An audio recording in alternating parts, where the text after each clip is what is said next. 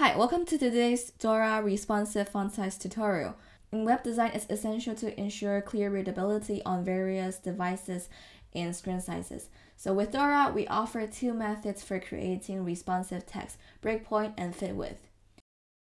So let's start with breakpoints. So breakpoint allows you to set size for different devices, for example, tablet and mobile. And here at first I start with tablet. So after I set this tablet breakpoint, you can see how this text is reaching the edge of the page. So we will shrink the text down so it fits the page. This is how the page looks after I resize the text. Next, I will set the mobile breakpoint.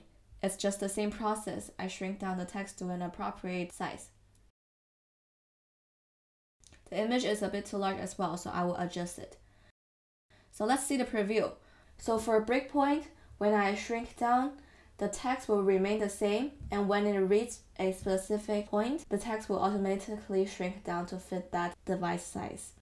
Next, let's talk about fit width. So fit width is a little bit different. The text changes all the time. So here, let's select the title, and beside the font size, we choose fit width.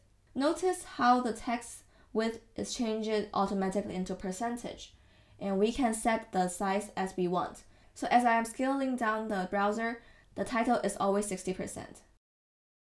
Next, I also want to show you a quick tip about how fit width is really useful when doing design.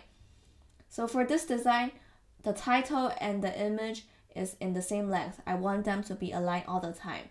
So here I have a container with the width of 100 VW.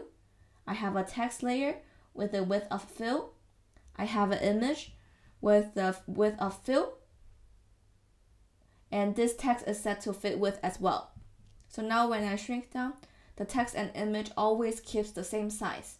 They are aligned all the time. Last, I also want to share some tips for typography. Regardless of the method you use, the following best practices can help you create elegant and efficient responsive typography. First is working from low to high fidelity. So starting with the simplest responsive and then add more features. Second is to balance your font sizes. Don't use oversized or undersized text.